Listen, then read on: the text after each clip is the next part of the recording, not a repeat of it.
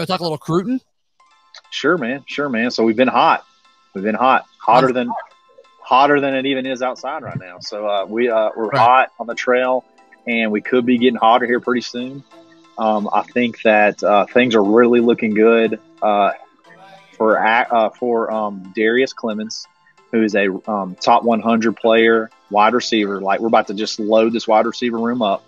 Cornelius Williams is turning out to be an absolute baller, that ace recruiter that we thought he could be.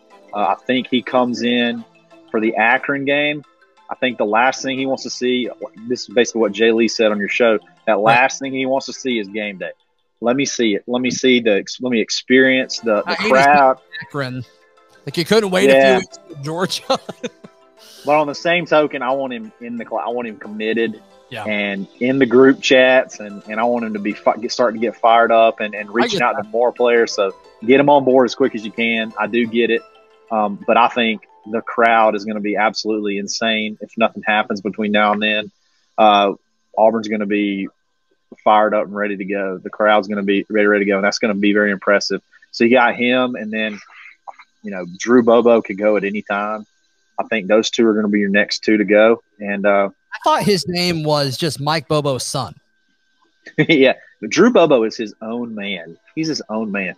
Hey, there's some highlight films out of him from his game last Friday, and he's an absolute mauler. Mauler people. Yeah, him and Easton Harris Jr.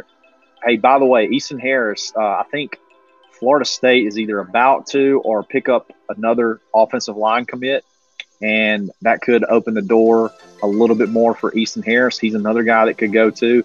But mm-hmm. those two guys are on the same offensive line, and they just absolutely kill people. But bless, uh, was it Park Crossing? They just absolutely yeah. dest- destroyed them. That little Davis Harston threw a touchdown in that game, uh, looking good. Looking good, stepping up in the pocket and throwing a dime. So, um, to be fair, a lot of people scored in that game for Auburn High That's School. true. That's true. But it was a good throw uh, against anybody. It was a good throw against. It doesn't matter the competition. Sure. So, sure.